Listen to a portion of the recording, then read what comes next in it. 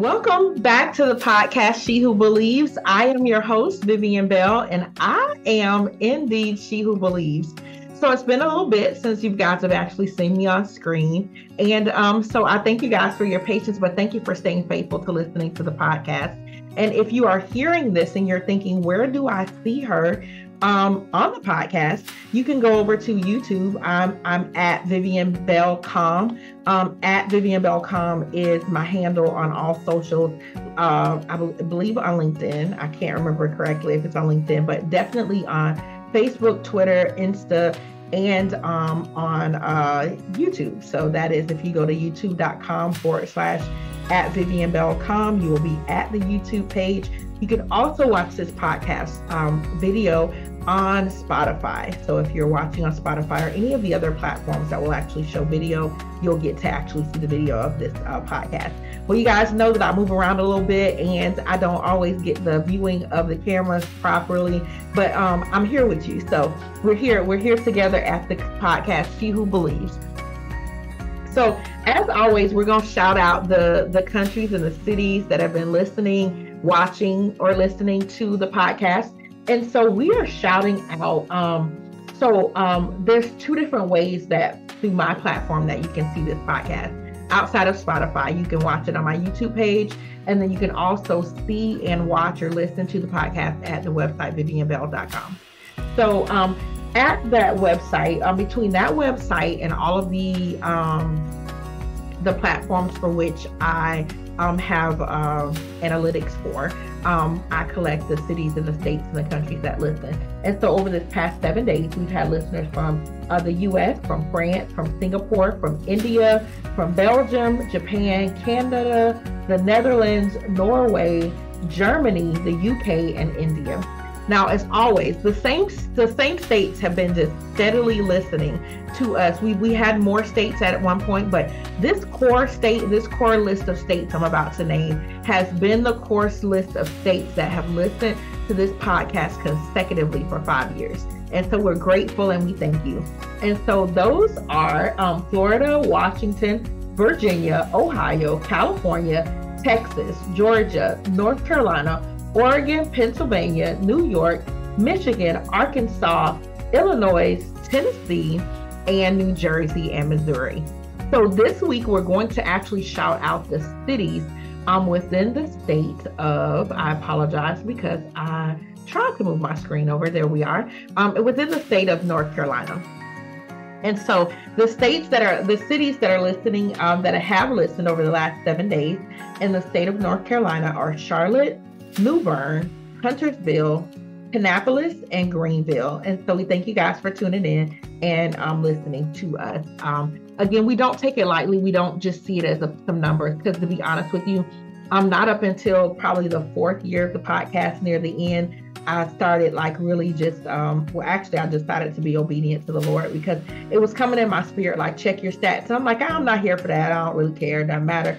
Um, but what that did um, for me as well, when like God's really just been even more so dealing with me about it, it wasn't for me about okay all these places are listening to this podcast but for me it needed to be about yes i want to um, be able to pray for each location. So again i want to ask you guys to commit each week if you hear a location and you feel moved in your spirit to pray for them. We pray for the cities and the states and the countries and um, we, we pray for the leaderships, we pray for church leaders, we pray for homes and families, and uh, we pray against things like sex trafficking and drug dealing and all the other illegal things that may happen within someone's community or that makes the person afraid to be in their community. Um, whatever you're led to pray for the community that God has placed in your spirit when you heard us speak those, then pray for those communities because we all need prayer everywhere, no matter where we are, no matter what our position, no matter what our, our, our financial statuses or marital status of any, or any of those things. We all need prayer.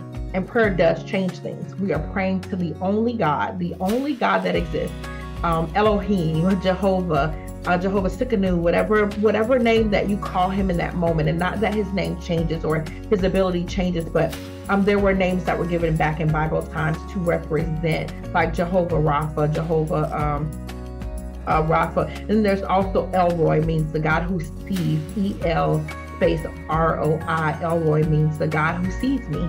God sees me. So that that person called him that because um, back then they thought that it was that his name was so holy it was too much to just call him God or to reference him in that way. So they they, they gave him the name like Jehovah. Then there's Jehovah uh, again, and then there are names that's added to that to describe because they're praising God and they're saying, "Hey, you're our provider, you're our waymaker, you are the our healer, you are the God that sees us." There are so many different names that have been given to God, and I didn't mean to go into that education, but that means that that someone is listening who needs that, and I want you to know that that, that God the only wise, the one and only God does see you.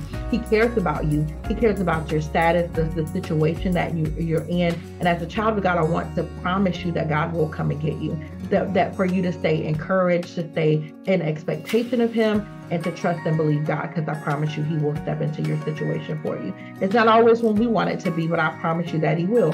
How do I know? Because that's the promise that He's made us and God keeps all of his promises. And as I mentioned before, if we decide to take time out of the equation, then that takes away disappointment and it takes away fear of lack because we don't think that God's running out of time. He can't, he's eternal. Time does not confine him. He created it for us so that we will know the days and times and months and seasons so that we can count our days and use them wisely. So, anyway, we are here on the podcast. Those of you who may know, who've been with us for some time and um, know that our staple scripture for this podcast is Luke 1 verse 45. But for those of you who do not know, that is a scripture that um, is very near and dear to me. At one point, um, it just it was God was speaking to me about uh, gaps in the in the scripture, and I shouldn't say gaps, but vagueness in the scripture, right? And so um, this scripture reads as follows: "And blessed is she who believed that there would be a fulfillment of what was spoken to her from the Lord." And so when God started talking to me about this particular verse and about making his promises personal for me, and um and he moved me to start this podcast. It was entitled that because I started this podcast believing God, trusting him. And to be honest with you, if you've not heard this podcast was really the fulfillment of a promise from God uh, many years ago, um, over 10 years ago now, um, there was actual radio. And I know you guys know that there's satellite radio and all of those things, but there were radio stations, like actual stations that you go and you sit in and you do your own editing and videos and commercials. And I worked for a ministry. And um, so I was the producer of that show. I edited the show. I set up background music. I set up um, you know, um, aligning up our guests. Like there are so many things that I learned that God blessed me to learn in that season. And one day I was editing um, our um, some uh, oh, what am I trying to say? Some voiceovers, and um, the Lord spoke to me. He says, "I'm going to give you your own radio show, and it's not going to cost you anything. It's going to be free. I'm going to give it to you." And I was like, "Okay, Lord, I don't need a radio show. Like I'm good in the background." He goes, "I know that, but I'm going to give you a radio show." And so I thought, okay, well, that's fine. And so I had several opportunities come up, but none of them lined up with what God had told me He was going to do for me. Excuse me, and exactly how He was going to do it. Not knowing that eventually there were going to be podcasts and that podcast wouldn't cost a dime and that the Lord would uh, lead me to do this particular podcast or as some call it radio show or whatever. But this is the fulfillment of that promise from God to be able to speak to people in, in many different nations and countries and not just let it be a local radio station, but where I would be able to minister to people and talk to people about faith, about trusting God, about believing Him, and to do it from a platform where I could be heard and not have to be in all of those places. Um, but again, here we are with this technology of um, podcasting, and as you heard, we are being listened to in other countries and cities and states, and I just thank God for that. So, um, anyway, I say that not um, again not bragging, but just I am bragging actually bragging on God and His promises and His power and His ability to not only keep His promise but His desire to do so and how He He He is delights in blessing us. So this verse, I speak this verse, but when I declare this verse, I say, "And blessed is Vivian who believed." That there would be a fulfillment of what was spoken to her from the Lord. Now, God has made me many promises, and it's not just about this this radio show slash podcast, whatever you want to call it, um, this this platform to speak to people about faith and about God and to encourage them and to remind them to love themselves because they are fearfully and wonderfully made in the image of God. But it is also uh, about it is about believing God for so many other promises. My children are walking around today because God made me a promise about my children and what type of mother I would be when I was 12, getting ready to commit suicide and walk into a lake because I could not and cannot swim. I decided I was just going to walk until I couldn't walk anymore and that life left my body. But God began to speak to me about um, make me some promises about making me a mom and a great mom and having kids. And I don't say that like to say I'm the best mom in the world, but um, God is good. He blessed me to be able, in spite of the things that I went through growing up, still be a loving mother and to love my children. Now, I don't get it right. I'm not perfect. If you ask my 23 year old son, he can probably tell you how many times I've messed that up this, this week alone, and it's just now Wednesday, right? Uh-huh. So just know that um, God keeps his promises. Uh, my father is alive, I believe, because I know because of a promise that I prayed and I went to God and I asked him to remember my father and to heal him. The doctors had said that he, would be lucky if he lived a year after his first after his first open heart surgery. That was when my dad was in his early to mid 30s, and now my father is over 70 years old because God is faithful. So this girl, I may not be, I might not always get it right.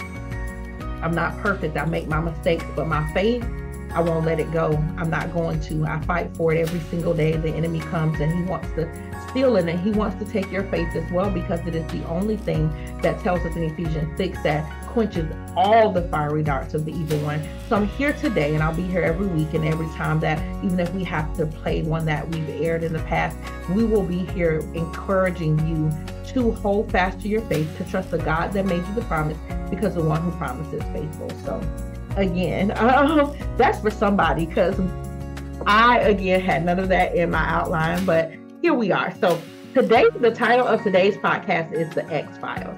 The X Files. So those of you who might be a little bit older, or you know, um, you you might have heard about the show, The X Files. I'm not gonna sit here and pretend I know what it's about. Never, never watched it. Never cared to do so. Um, but it I, it gave me the the the thought of you know just watching the previews that it was going to be some kind of show that talked about weird and unexpected things that took place and how they were going, they were being revealed and maybe they were trying to keep them quiet. And you're thinking, faith in the X Files, like what's up with that? How does that happen? Well, let's go to talking about unexpected things, right? And remaining in expectation. So the X for us today means it stands for the expectation files, right? So even though there's an E in front of the X and expectations, this is this is my podcast. I'm going with it. Um, so the X files for me are testimonies that I have, that testimonies that we all have based on a place of expectation of God that He said something to us. We expected Him to do it, and then we begin to behave as though what He said to us was true. Um, that is a definition that, that or, or, at least my rendition of the definition that Dr. Tony Evans gives about having faith is that um, acting as though you believe that what God has told you has already taken place or is already true. Um, I've shared with you guys here on the podcast about how God told me, He says, when I tell you something, I'm merely making you aware that it is already done. So when we have the word of God, whether it's his written word, whether it's his word that he's spoken to our spirit, you know, sometimes it, it can be audible. Some people say that, you know, they've never heard it be audible. I've, I have on a couple of occasions heard the audible voice of God. Um, but um, it could be audible it could be just that impression in your spirit like you know the holy ghost is revealing some things to you. The spirit of god that you received that baptism revealing things to you about what god wants you to do what his desire is for you. And so sometimes it may not be audible but we still know that it's god and we know it because our our soul confirms it the holy spirit within us confirms it. And so we listen and we obey and we, we follow some, we, most of the time we make sure we want to make sure that we obey quickly. We don't always obey quickly, but we do eventually obey. Um, and so the X Files is really just about me coming on today to remind you to remain in expectation of God, to expect God to do exactly what He's promised, but also to do what you've asked of Him, to do um, the things that you need. So Philippians 4:19 tells us that God will supply all of our needs according to His riches in glory in Christ Jesus our Lord, right? He says it's his riches, not ours. And he says he will supply all our need. So that doesn't mean that you don't ask God for the things that you need because the word of God tells us to ask and keep on asking, to seek and keep on seeking. And to knock and to keep on knocking. So that means don't let time discourage you from coming back and saying, God, I'm here again and I'm asking you for this thing. I'm believing you for this thing. And so even if you say, for instance, you're asking for something and God, there's a delay or a no or a not right now, we've got to trust the God of heaven enough who's given us the promise, who's given us the desire of our hearts to fulfill it in his perfect appointed time. He says that there's an appointed time for everything. He's appointed it. So be in expectation of that appointment. Be in expectation of it. Like when we have a, a, date and a time for something, we're excited, right? We are excited because we're like, hey, we got I got an appointment. I'm on the books. Well, just because you don't know you, when your appointment is and what time it is, doesn't mean you shouldn't be equally excited because you're still on the book. You got it? You're still on his books. He still cares about you. He's already gone ahead of you and, and made straight your path and put every provision that you'll ever need, including the measure of faith. He has given each man a measure of faith. He's measured to you what you need to fulfill the things that He called you to do, not what for me to do. He didn't give you the faith for me. He gave me my own faith. He gave me enough. And He grows it, He stretches it, He multiplies it, and He increases us um, and he increases the faith um, within us. It's like um, seeds being planted and watered, and he sometimes he um, what do you call it? He prunes it so that it grows more. Right? Same thing with our faith, right? So today, honestly, I'm just here to remind you to remain in expectation of God. There's somebody, it's, it's your child, and you have been praying and you've been believing God to restore them, to heal them, to deliver them. Keep believing. Keep believing. It could be your marriage. It could be uh, your business and God has made you promises, keep believing, remain in expectation of God. How do I do that? How do we remain in expectation of God? That you work like what He's told you is true. Like He's told me that I'm a both a multi-billion dollar business owner of many ventures. So I operate like that. I I prepare myself for that. I have prepared um, processes and uh, um, infrastructure, digital, and all these other things to prepare for this this type of or level of business, I have prayed about who my team is and what my team should look like, and I'm preparing uh, um, job descriptions and uh, thinking about what perfect person or what person per, with a certain personality should fit into certain roles because he's made me these promises. He said these things to me. I'm preparing uh, programs and uh, different ventures in my business all, based on the word of God. I'm writing books and journals and all these things based on the word of God. Not always understanding why he has me doing it or why he's giving me a particular thing. Sometimes God will give me a title and I feel like then he drops off the map in reference to that thing. And then when it's time, he'll come back and he'll show me, like right now, this program that God is um, allowing me to bring forth in this season. He started planting that years ago because I thought it was going to be the title of a podcast. And then I thought it was going to be the title of a different radio show that I have on another station right now. But God didn't let it be that. He let it become something else.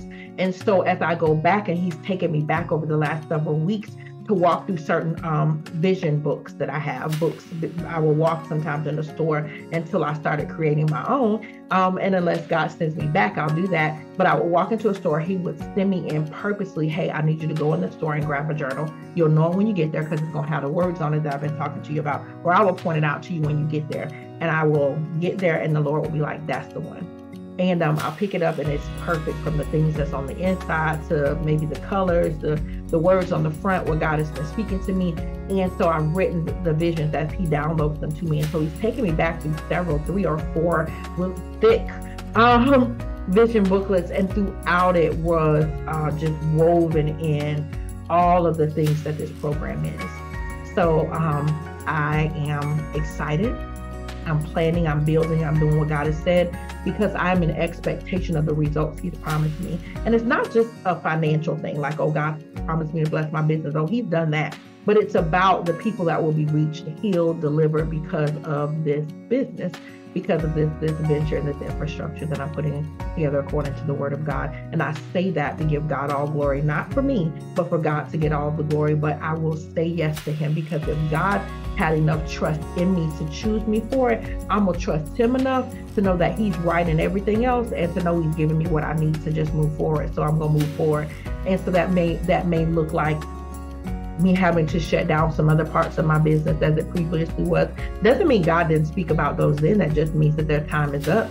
It's time for me to move over into something else. It all I also do that by just uh, it, it, can also look like um, not worrying about what people are saying or thinking or pitching too small believing him to pitch to the big organizations and the larger schools and all of those things and to expect that when I go in that I will have the favor that God has promised to me. I'm sharing all of these things because there are there is somebody listening who has a dream, whether it's of a business, of a ministry, of a marriage, of your child being healed and made whole. Hold fast to that. Trust God for it trust them so much that you start building and preparing for it. And then keep your own vision book or your own X files, your files of expectation, because that's what I call them. They are now my X files, the place that I expected God to show up and He didn't. The place where I can mark the spot, the X, and know that this is the place God gave me the word. And then at this X over here is the place that He fulfilled it. So mark the X. X marks the spot. When God speaks, mark the spot. Mark it. Mark it with praise. Mark it with offering. Mark it with mark it with worship. And then mark it with writing the vision and making it plain. So when it's time for you to run with it, you can do so. Well, you've listened and watched the podcast She Who Believes, and I am your host, Vivian Bell. And I am indeed She Who Believes. I look forward to seeing you back here next week. God bless.